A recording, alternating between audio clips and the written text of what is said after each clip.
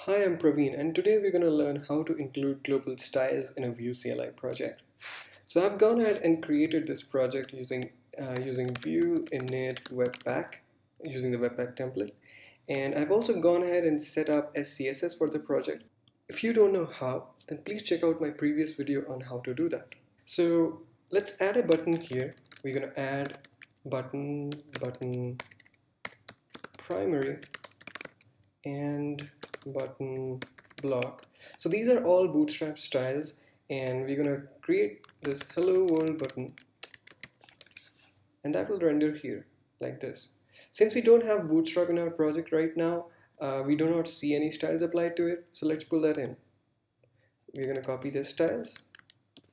Uh, we're gonna open up index.html and we're gonna paste it in here so using CDN is the first way we can include a global style and sure enough that works.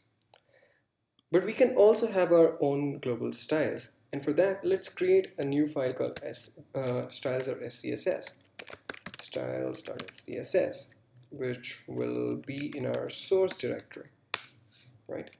So let's add some styles body background we're gonna use aqua. But how do we load this file we can't load this in our index.html, right? So we're going to go to main.js and here we're going to say import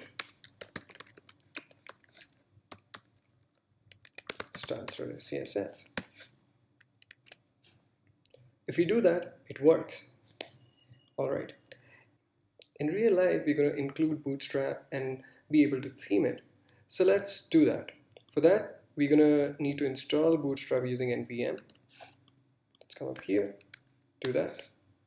Alright, now that we have Bootstrap, we're going to go to style.scss and we're going to import it, import it like so.